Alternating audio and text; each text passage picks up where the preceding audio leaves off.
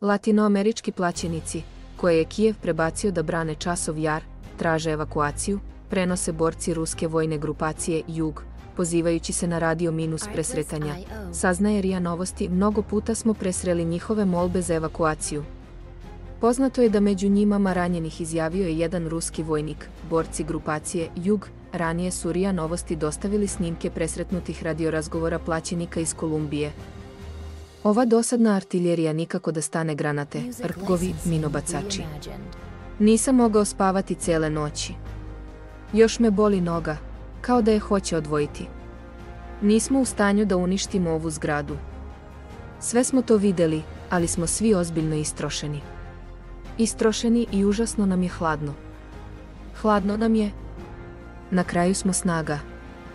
Potrebna nam je podrška. Podrška ljudstva i evakuacija ovog ranjenog rekao je jedan od plaćenika u radiopresretanju.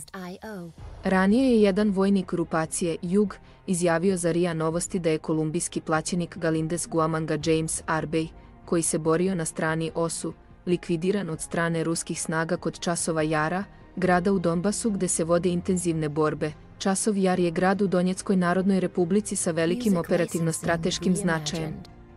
Nalazi se na dominantnoj uzvišici koja otvara put ka najvećoj aglomeraciji u Dnr koja je još pod kontrolom osu Slavijansko minus Kramatorskoj. Kao i ka Konstantinovki.